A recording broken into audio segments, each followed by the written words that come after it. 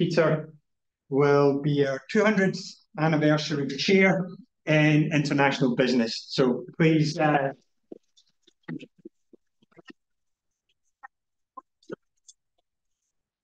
yeah, so it's a, it's a huge um, uh, honour and a fitting uh, tribute to uh, Peter's huge contribution to international business uh, research and, and teaching. I understand also that the timing is, is excellent. Uh, Peter recently reached a major milestone um, in his own scholarship, uh, attaining an H index of, of 100. So, um, again, uh, we're, so we're, we're very much, uh, after that introduction, looking forward to um, to what uh, to what Peter has to, to say uh, this evening. And the title of this evening's lecture is The Kaleidoscope of International Business, Evolving Phenomena, Big Questions and Grand Challenges. So it looks like it will be a tour, uh, tour de force, and uh, very much looking forward to um, uh, Peter uh, taking us through international business uh, theory and how it has has changed over the past uh, 60 years, looking at how we create theory, how we react to theory, and how we use it to address the emerging grand challenges that so uh, uh, so threaten our, our not only our, our business disciplines but um, the very human uh, race. So the normal uh, arrangements uh, will uh, will prevail. There'll be plenty of time for questions at the end. We have an online audience, and the normal rules of engagement apply. Raise your hand um, online or in the in the room, and we'll be able to take plenty of, of questions uh, after Peter's lecture. And Mario Kafouros will will uh, will manage the, the, question and answer session. So without any further ado, uh, I'll hand over to, to Peter. Thank you, Ken. Thank you. It's a great honour. It's a great pleasure and privilege to do this, and thank you all for coming. I was born 11 miles from here in a cotton town called Mosley, more accurately pronounced Mosley. And uh, three of my four grandparents worked all their lives in cotton mills, and the fourth was a professional soldier. Neither of my parents went past primary school, despite my mother winning the award for the best student in the town. So this is for them. Um, I I thought long and hard about what metaphor to try and use to describe globalization and the trajectory of globalization and the way that international business theory has tried to keep up with, to explain and predict the way that international business and globalization has gone. I thought of a roller coaster, but a roller coaster only goes in one direction. Uh, I thought of various other things, but I think the kaleidoscope works well because the idea of the kaleidoscope is that things are changing. And as we know, over the past 60, 50 years, international business has changed dramatically and is continuing to change. And the other thing about the kaleidoscope is it brings in the role of the viewer. So where we stand and where we look through at this picture of international business this changing picture, this evolving picture, is really important. So different people will see different patterns by looking by the stance that they take. And my my stance is, is very simple, really.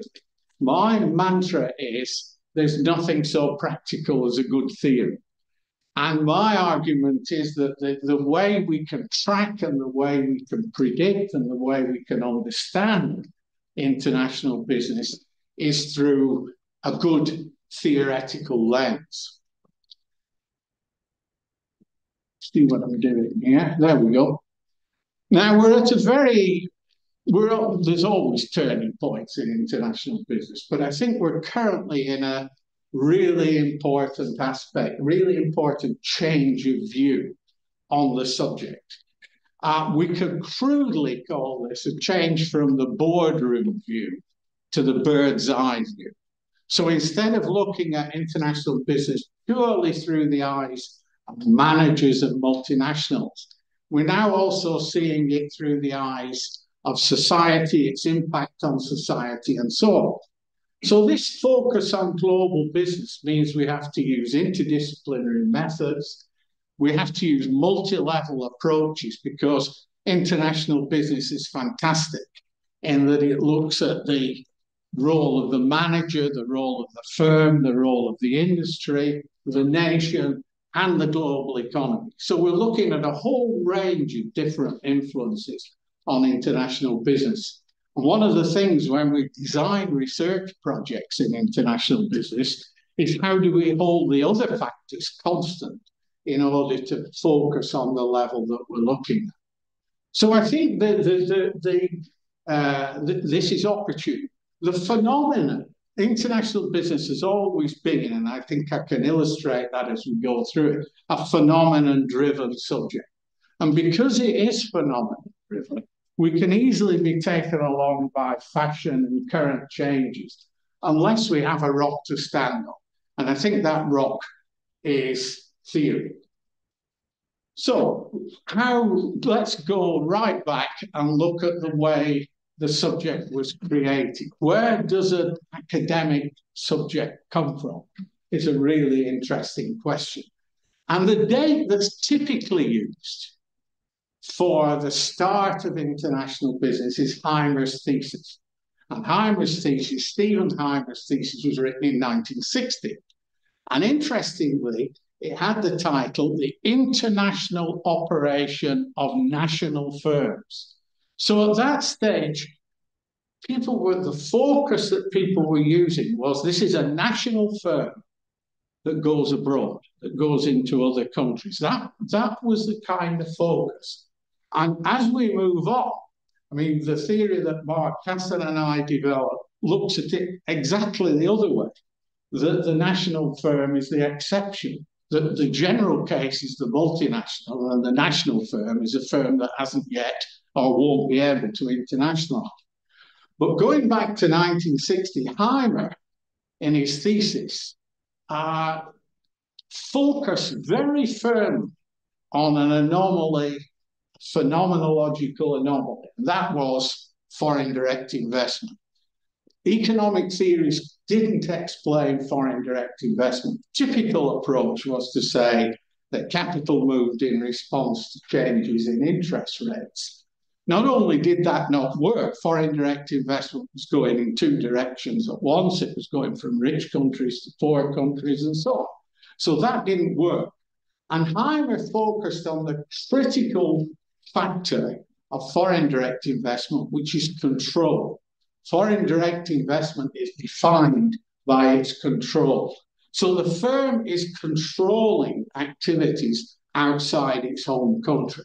And activities is very important because foreign direct investment isn't just a capital flow. It involves flows of technology and organization. So now Hymer did something that we probably wouldn't recommend our students or ourselves to do. He ignored most of current writing on international business. I wrote a paper called Pre-Hymer Theories, and there were there's masses of stuff. There were theories of imperialism, there were theories of competitiveness, there were theories of competition, there was economic theory, there were there were and there were massively interesting works written by people who today would call practitioners, how to do business in Latin America, how to do business in China, and so on. There was development economics as well. And Hymer just drove a coach and horses through this very few citations, clear laser-like focus on explaining foreign direct investment as the key phenomenon. The key thing being control, but he also introduced the notion of advantages. That multinational firms must have some advantage because how can they outcompete a national firm in its own market? So the search was then on for the for the advantages that firms uh, that firms had, and the Hymer-Kindleberger theory essentially looks at the way that a foreign firm, in some ways, has advantages over a national firm, even in its own market, because a foreign firm has to overcome cultural problems and what are now called the liabilities of foreignness. And this was taken further by my late old boss, John Dunning, who looked at the advantages in terms of locational advantages, in, in terms of ownership advantages, and then later added internalization. And that's kind of where I came, come into the story, if I can wrap myself in which was the move from looking at foreign direct investment as a phenomenon to the firm that, that, that is organizing foreign direct investment.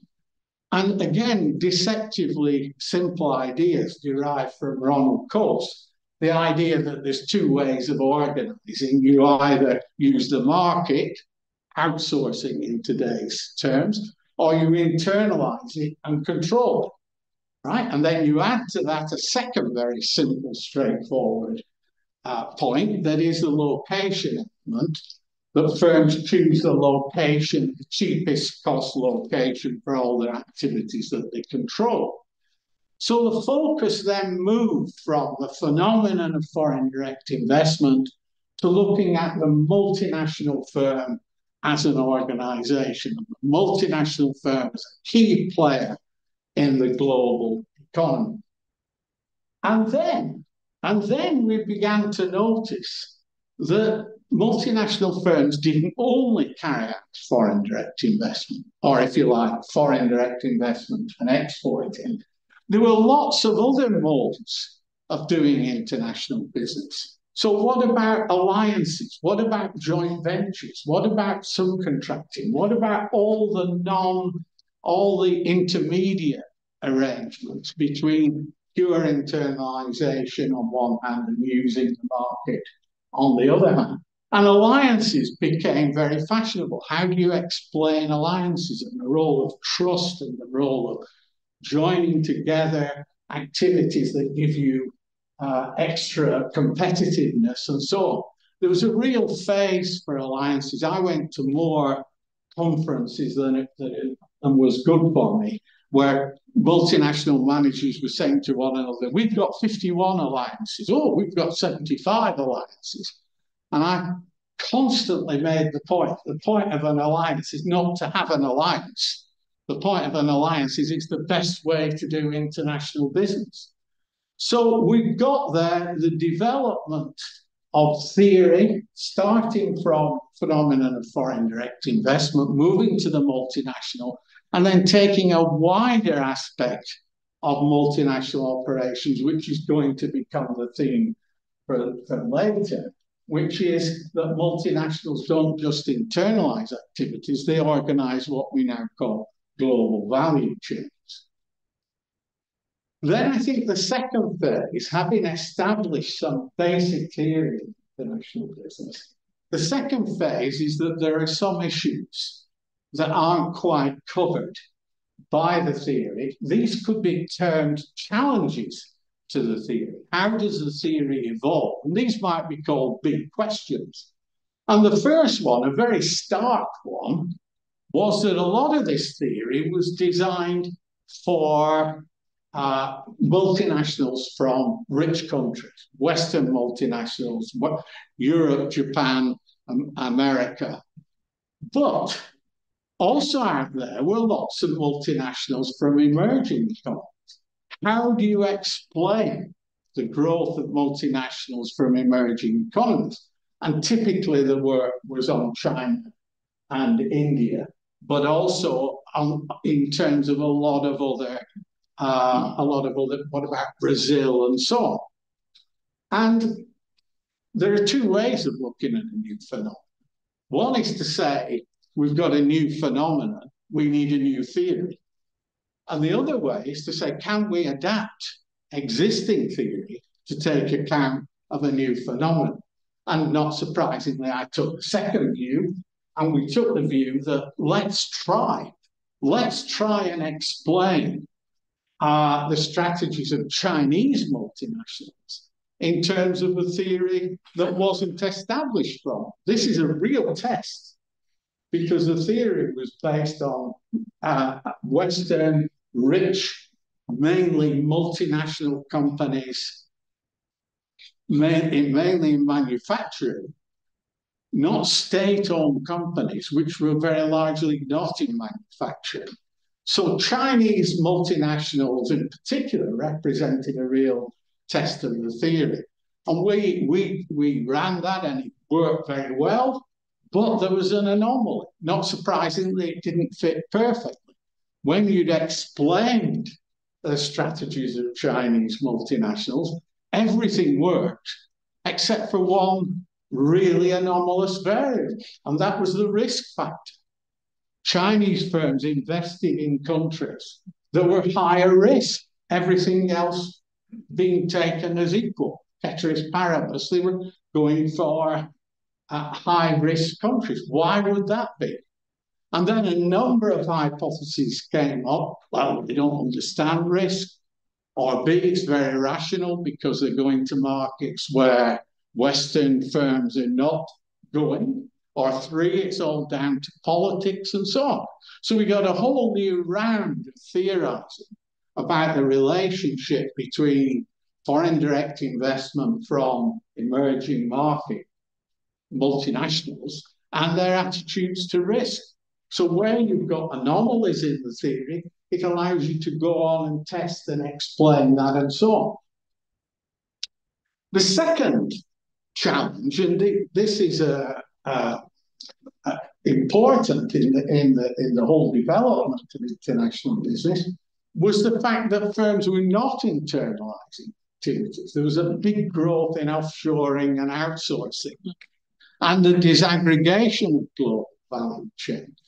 So again, the theory needed to be modified in order to take account of what you might call a distributed multinational, a multinational that has not only internalized activities, but also uses lots of other uh, uh, means of, of, of operating in the global market and disaggregation of global value chains, meaning that lots more countries were being brought in as locations for multinational activity.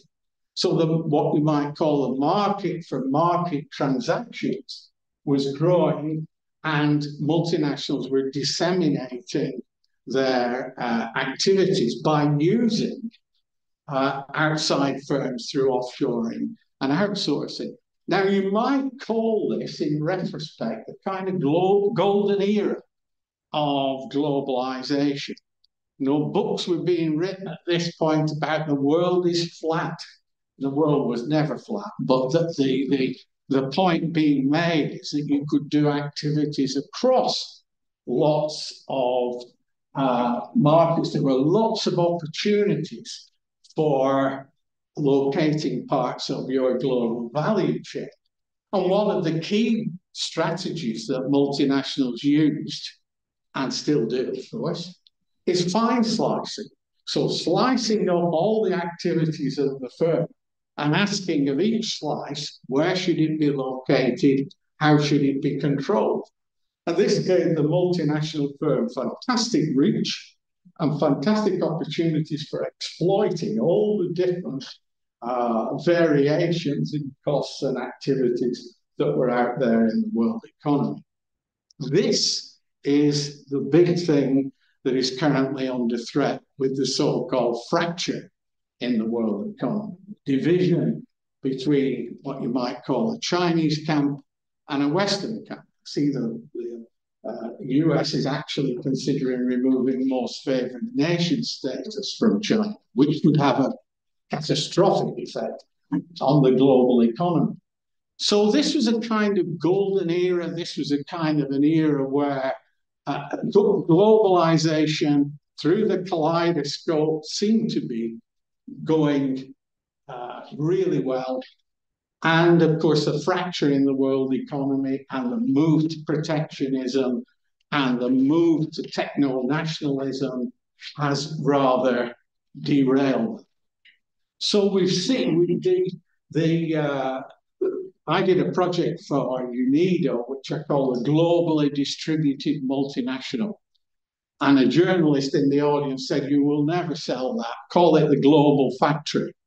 And I said, Well, it's neither global nor a factory. He said, It doesn't matter. It's a very good phrase. So the way that I used, uh, the way that I approach that is, is the global factory, which looks at both inter- internalization and outsourcing of the global value chain.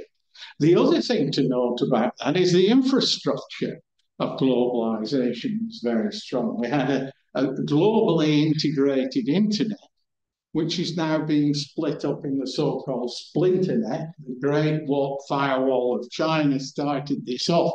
And so you can't even guarantee that the underlying conditions for doing the kind of globalization that you might think ideal uh, is no longer there. So massive problems for multinationals then having to adjust their strategies uh, from uh, being able to, to, to, to reach lots of markets and reach lots of locations in the world, being split by techno nationalism and, and other forms of protection. The other challenge, the other major challenge I think that, that, that came about is the idea that multinationals have a wider responsibility than simply making profit or simply uh, operating efficiently. And that is the, the, the pressure for social responsibility, sustainability, and so on in their operations, which feeds into the redesign of global value chains. And one of the one of the things that, that's interesting me at the moment, and I'm trying to write about, is that previously in international business, we've talked a lot about the market constraints on multinationals and governmental regulation constraints on multinationals, but we now have civil society constraints on multinationals. The argument that multinationals should live up to certain ideals of social responsibility, sustainability, and so on. So managers in multinationals have a wide range of issues uh, to think about. So we now move on to the, that leads into really the argument that uh, theory now should be looked at in terms of grand challenges. And the beauty of grand challenges, if we can put it that way, is that all of them are international. Grand challenges, by their very nature, are international. You can't solve the climate crisis, you can't solve a lot of the other issues that are grand challenges on a national basis. And here again, we've got huge problems because we've got the loss of faith in international institutions and the loss of funding for international institutions as well. So when, when we look at grand challenges, I think international business is in a fantastic position to start to analyze uh, the issues because it's already, as I said, international. It's very largely interdisciplinary and it could be more interdisciplinary expands many levels of analysis, as I've tried to show from the manager right through to the, to the global economy. And it brings in government, business, and civil society. So all of those elements that have been present in international business, the complex interaction with multiple stakeholders, the relationship between business, government, and society, We've been working on this stuff for a long time. It needs refocusing. We need to turn the kaleidoscope and refocus on this. But we have many international businesses really well placed to, to use theory to look at, at grand challenges. So, it's not too bad. Uh, we, given that, that, that the new phenomenon that international business is looking at, we have to now try and utilize our knowledge. And we've all got constraints in terms of our abilities and resources and so on to focus the theory on grand challenges and what role can multinationals play in meeting grand challenges. One of my phrases that I've used too often is that multinationals are part of the problem and part of the solution. How do we get multinationals to be more part of the solution and less uh, part of the problem?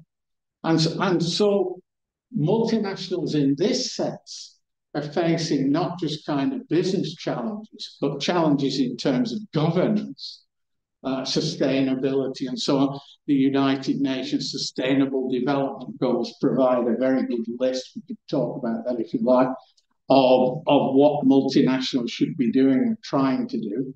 They, in doing that, they face immense pressure from the, the, the fracture in the world economy and new sources of issues from civil society. Hence the importance, and a lot of people in IB have and are writing on non-market strategies, strategies to try and deal with these non-market pressures. And of course, they're facing doing this in a world economy that is no longer a single integrated economy. So you're looking at friendshoring and reshoring, China plus one type strategies, and so on. And it's not easy.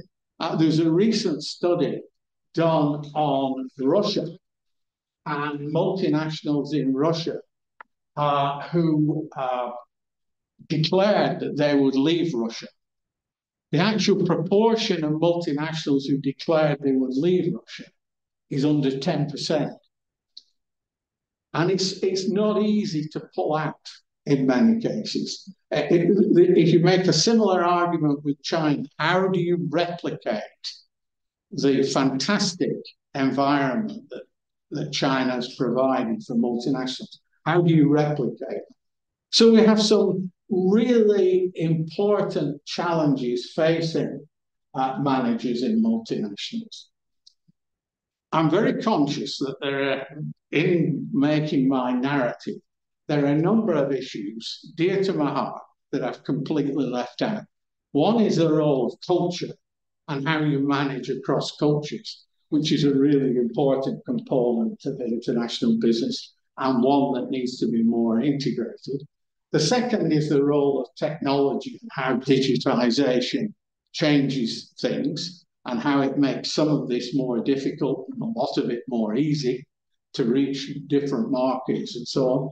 And the third thing is the losers from globalization, the left behind. How do we compensate those people who feel that globalization has not benefited them and other people have done better than them, other countries, other regions, other cities have done better I mean, it's, it's, it's funny, isn't it, that the old economic Pareto model, the winners compensate the losers.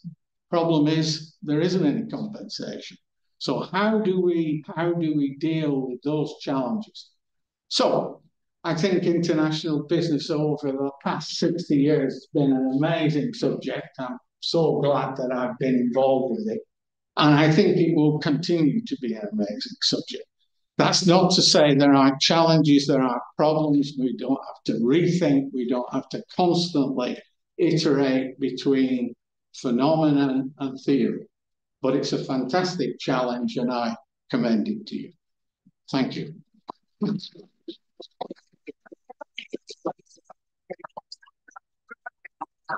Thank you very much, Peter, and a warm welcome from me as well. For those who don't know me, my name is Mario i'm the Professor of International Business and Innovation, and also the head of one of our four divisions here in the school. So we can start the Q&A. Uh, I will move upstairs here, and I will switch off the... Switch off stand up. You prefer to stand up? Okay, I will switch off this one so that it's not in front of mine. Okay. Uh, but then we will take questions in a minute, but to get us started, uh, I'll ask a question initially and go to the audience, both here and we've got lots and lots of people online as well.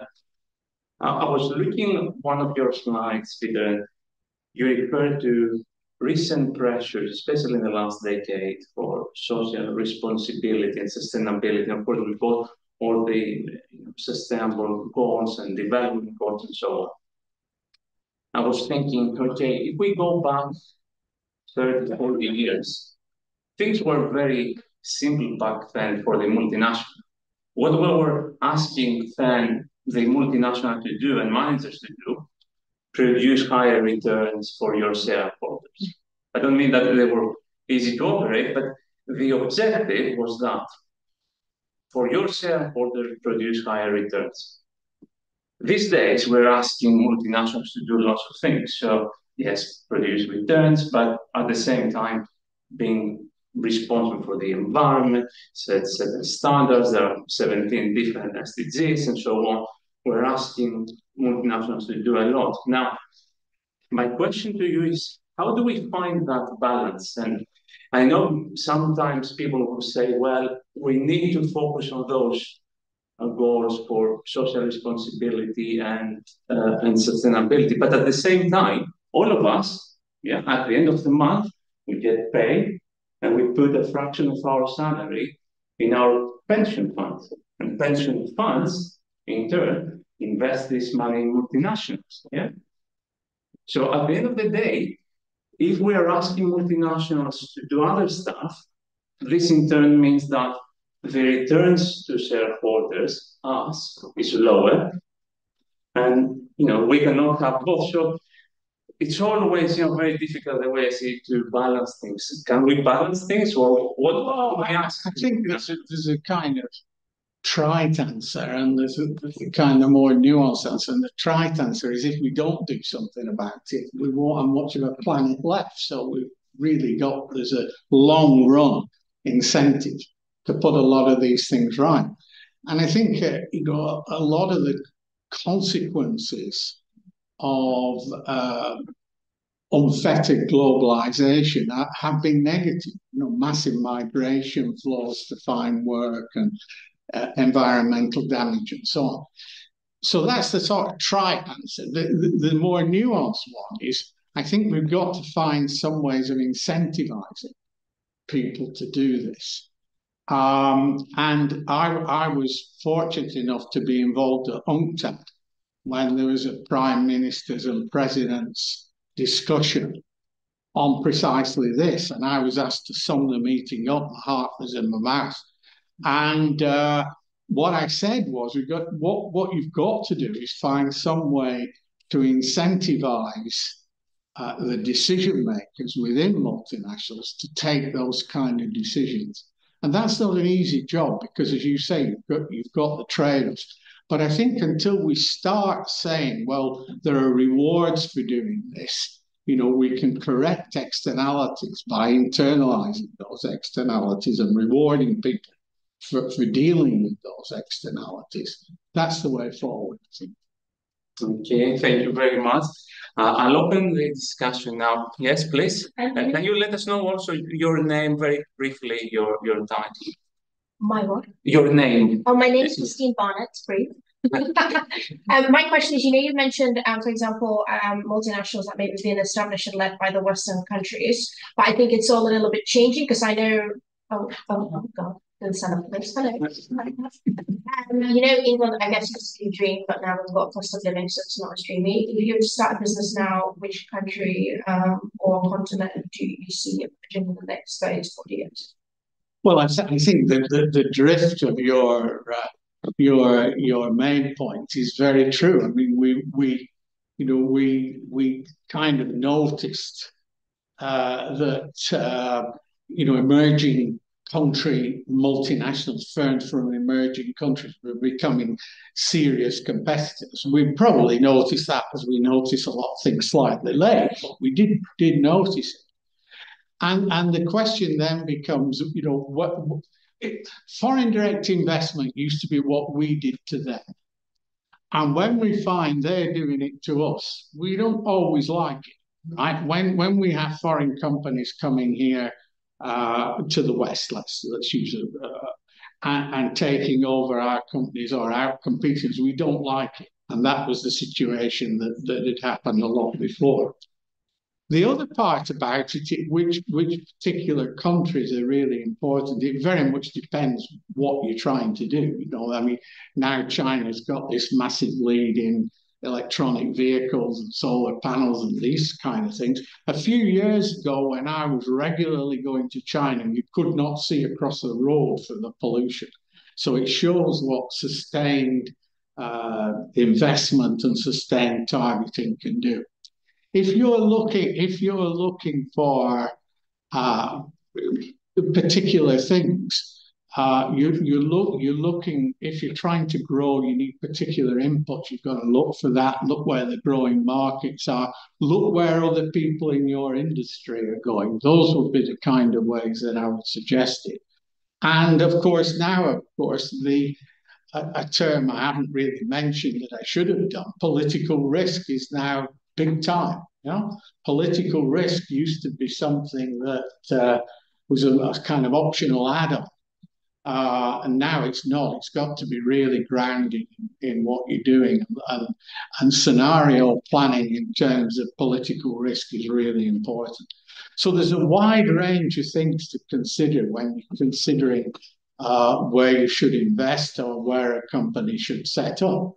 One of the uh, one of the things I always used to use for students and others was the doing business in index because that showed you, know, that, and that got knocked on the head because of corruption and so on. But that was really useful because that showed you that, you know, surprising places were reforming and producing environments that were really useful. I remember a few years ago, Rwanda going rapidly up that list when they reformed and they so um, you're also looking not only at the factors that I've talked about, but you're also looking at the political environment and and um, and the the policies and the consistency of policies towards what you're trying to achieve. I did my PhD in the Middle Ages on Ireland and Ireland has had a consistent policy of attracting multinationals with, with low taxes, which may have its problems. But it's had a consistent policy.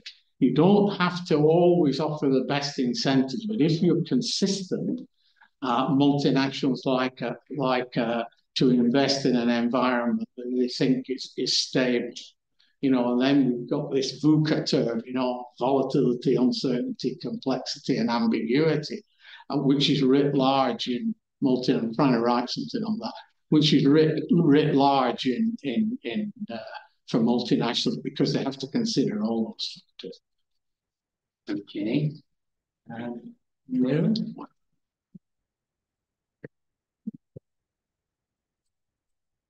So my name is Miran Mishai, basically the with international business here. And uh, so, like, I think uh, I, I wonder what are your the implications of what you just told us for future of IB So, uh, that is, like, I think we have uh, some problem with identity. So, because we were told for many years that now every business is global, so what's the question? Because you have even had a paper like 20 years ago, this general and actually all the messages going around describing the fracture, the walls, etc. Suddenly it seems like we have a really divided identity. So what to do? We have a really what identity? Suddenly we like all the for me, I international business is studying all the things that interfere with business global. Yeah, I, I, I think I think the uh, I'm going to go to my roller coaster one. My roller coaster analogy would be that there are times when international business seems there doesn't seem to be a lot happening, or it's moving in a, in a straight line either that way or that way. What we have is that we have real volatility, and we have real uh, a real set of issues uh, in a way that never went away, but were dormant and they're now really uh, apparent. And, and one thing I haven't mentioned is war. You know, we've got wars going on. So, in addition to all the uh, all the volatility and all the uncertainty, we've got the eruption of, of, of war on the borders of Europe and the Middle East and every you know a lot in Africa, you name it. So, so multinationals have have those factors to deal with, and um, yeah, I mean, I, I think it's a re- it's a really interesting time. There was there was a time when when things seemed to be very stable, and then China hit us. You know, China came along, and everything was let's all write about China. But now we've got so many fantastic issues to write about and to work on. You know, I can never never understand people who say, I'm, I'm not quite sure what to do next. Wow, you know, there's, there's so many uh, really interesting areas to work on. And some of it some of it doesn't go away. Some of this comes back. I mean, I started off as a development economist. And you know the role development is still there. Poverty is still with us. You know, foreign investment doesn't necessarily go to the least developed countries and so on. So we have some new issues and we have some old issues that are that are writ large, but we certainly live in interesting times. And I think the future of international business is trying to get a handle on on those dramatic changes. Uh, and as I say, I come back to my mantra: there's there's nothing as practical as a good theory. If you've got a good theory, you can start to look at this. Thank you. Please. So, uh, Andrew James, uh, Professor of Innovation Management Policy. So you, you mentioned quite quite rightly uh, the growth in protectionism, techno-nationalism, and national security as uh, regrettable themes uh, in the global economy. I just wondered, would be interested in your reflections on how well you think IB is addressing those issues, how well theorized geopol- uh, geopolitics yeah. is yeah. in IB and, and what IB scholars need to do to uh, better address these issues. Yeah, uh, yeah, I think that's bang on. I think the uh, uh, you know you could rewrite a bit of what I said about how we thought politics had gone away, and you didn't really have to bother too much about politics because everybody was uh, in favor of a particular type of globalization. You can't assume that anymore. And I think one way uh, of dealing with that set of issues is to look at the people who are experts on it, look at political science and so on. I mean, I've shamelessly adopted the governance triangle, which I lifted from political science, where you look at the, the the market, government, and civil society, and you think of governance in terms of those factors. So, yes, I think there's a lot to learn. International business has always uh, been a borrower discipline, sometimes possibly too much, but I think those are the kind of areas that we need to both look at and revisit. Because if you look back uh, over international business. I mean, look, look you look at Vern's on the obsolescent bargain and the role of politics and the role of business, uh, the role of uh, government in uh, negotiating with multinationals. It's very rich and it's been kind of left. We kind of left it with the obsolescent bargain, sovereignty at bay, these kind of arguments and haven't really developed it. And, and that would be an area I would suggest that there's a lot of really interesting and exciting work to do uh, around the kind of questions that you mentioned and the argument and, and, the, and, the, and the really big question, you know, who gains, who loses from these strategies. Thank you. We will continue taking questions from the audience here, but I would like for me to go also to our online audience. Jim is telling me there are lots of questions. Can we take two? Yeah, sure. Just want to Peter on two two things. Firstly, most international audience ever online we've had for an event. You've got people from India, Brazil, Australia, all across Europe, you named it, on, on this uh, lecture tonight. Secondly, probably the most questions I've ever had online for a lecture as well. So, Is this good news? which means that I can't pass all of them. Uh, we will also we'll, we'll send them to you after, don't worry.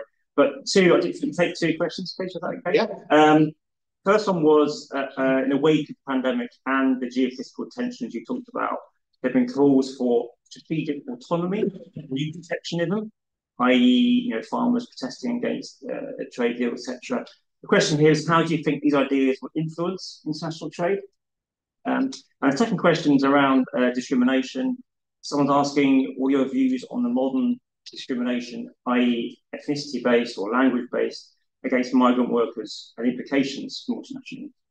Yeah, I think I think uh, well, I think both of those are, you know, are kind of on the money for where where we're looking at. The first thing, the the you know, again, the, the, the, the there's a long tradition of looking at protectionism and protectionist demands and who gains and who who loses from that. And the other issue, I mean, Niron and I have, have been working something something like this because you have, of course, not a single act of protectionism or a single act of trying to protect farmers. You then get retaliation. You can get retaliation, and, and retaliation may make the situation worse in the first place. So there's a lot of literature on that. It's a big issue. And of course, the thing with protectionism is that people who want protectionism tend to be uh, located together or in a single industry. So they have a very powerful, powerful voice against a, a diffuse group of people who are gaining. The thing on migration is, is, is, is a great question. Uh, one of the things I'm trying to work on at the moment is an international business theory of migration, because I think that is an area actually that most of the people who, who are practitioners would argue is under theorized. And uh, so migration is really interesting. But I think in international business, the area that, that probably has most work on, at least most work that I'm aware of, is employment of refugees. And I've seen three or four articles this week on how multinationals can absorb refugees and what the benefits for migrant workers are to multinationals. Um, but again, you know, this phenomenon, the, the, the phenomenon of you know mass migration and and individual groups migrating, which is I think where the the uh, discrimination point is is something we really have to get get look at, get to grips with. Um, multinationals should, in many cases, be good institutions to deal with uh, discrimination and these kind of issues. I say should because they have lots of experience of operating across lots of different cultures, ethnicities, religions, whatever you care to name. It's not always uh, it, it, the, the practice isn't always put into practice, if that's not a strange way of putting it. The, their experience isn't always put into practice everywhere. Uh, but there are some very interesting lessons uh, from multinationals on uh, you know, some work I've done on kind of language discrimination. Do you force people to speak a different language, you know, a single language in the company for efficiency within the company? And if you do, how does that impact on non-native speakers and so on?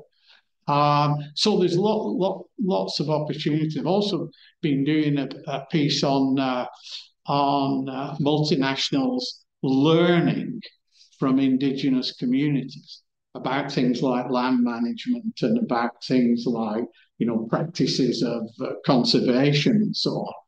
Uh, there's you know if you go into a country that you're not familiar with, you really should learn from the people who, who, are there. And sometimes we think one way, one size fits all, uh, and that, that, that's just come out in the UN uh, Transnational Corporations Journal, where we try to look at means of bringing in indigenous knowledge and combining that with with multinationals. So you know, there's some this the, the, the, this kind of question is very much grist to the mill of international business and should be. Good, thank you.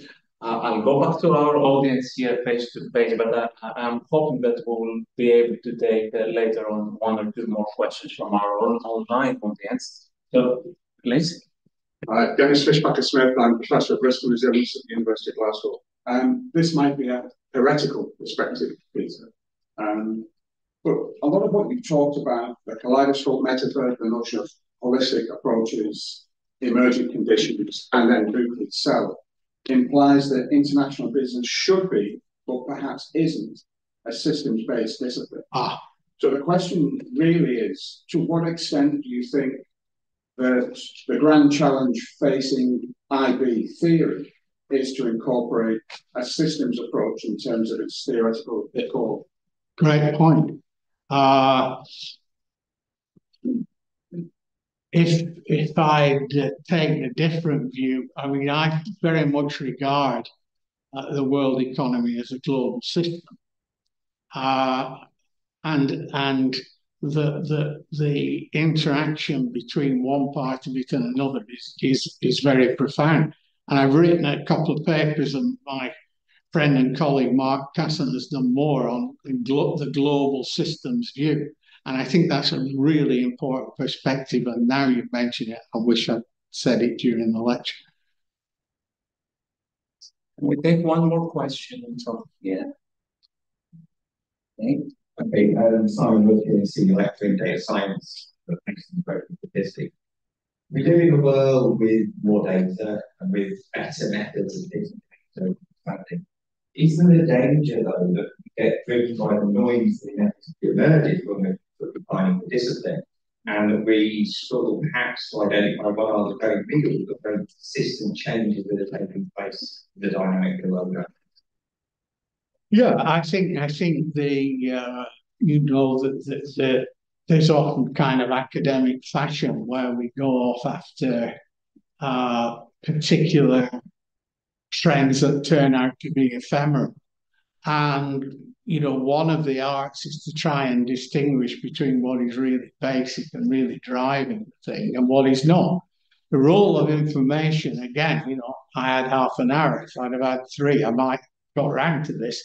Uh, the role of information really crucial, as is misinformation, malinformation, and so on.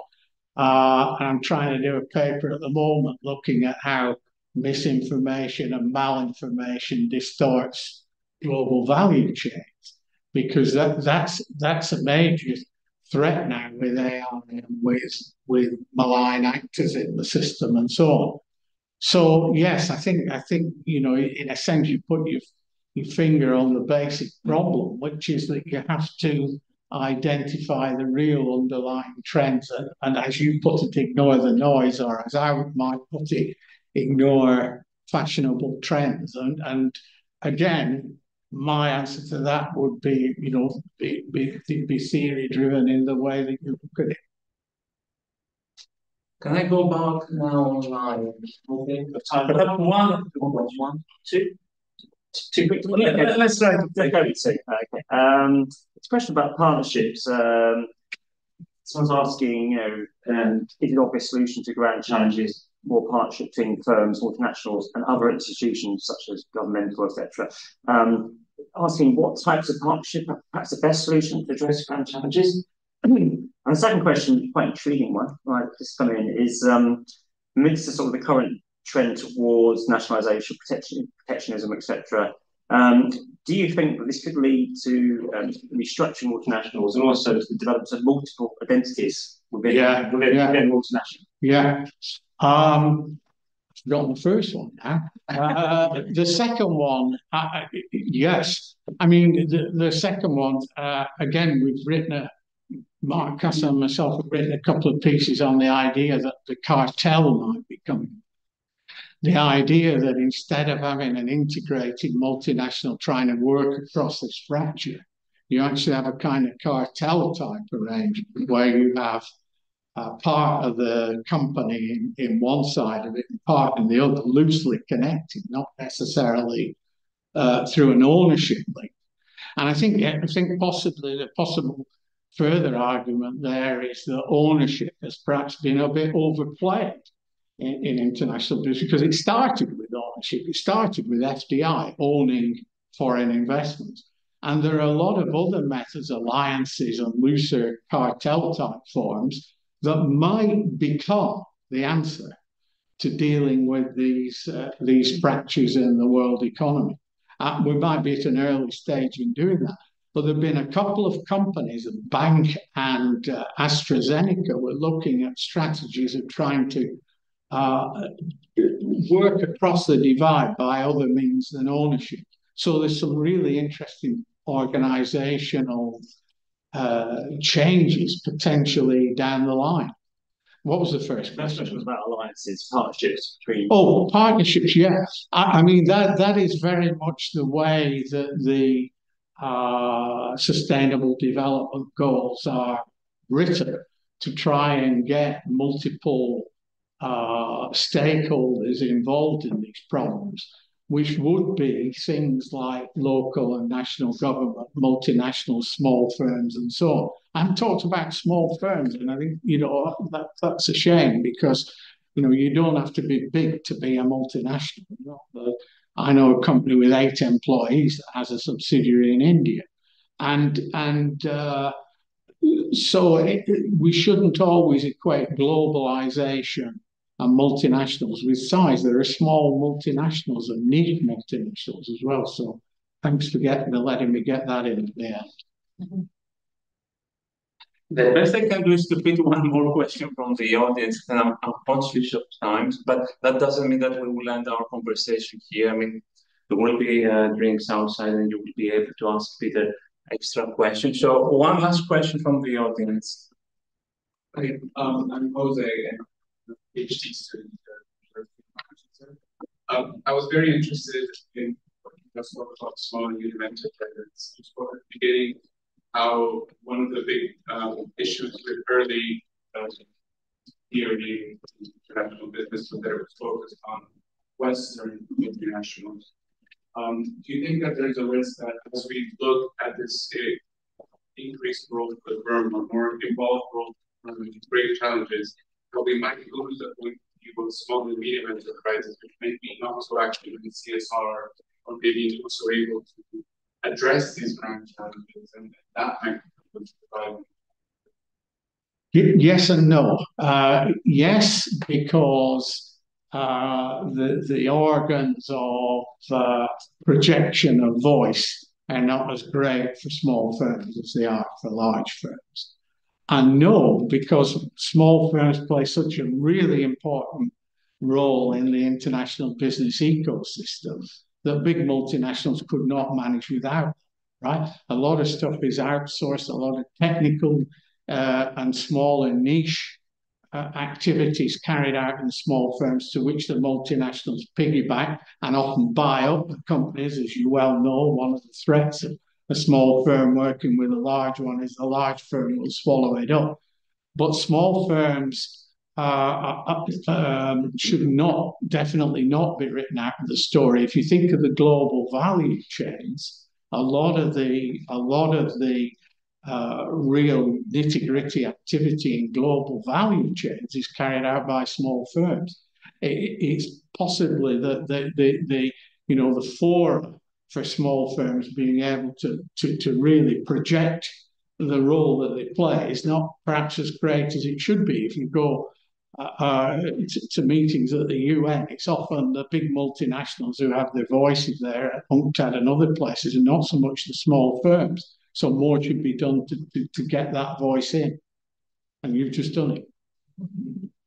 Excellent. Uh, I will now invite our head of school, Ken Maxwell, to come back and close the session. Thank you very much, everyone.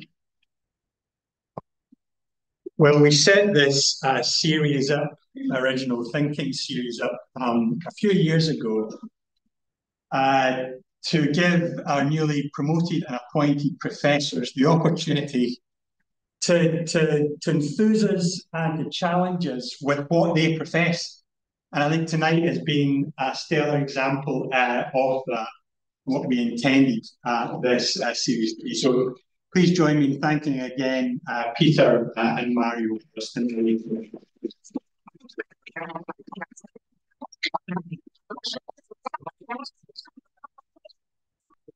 As, uh, as Mario said, we uh, have the opportunity to continue the questioning and discussions uh, outside over some uh, refreshments.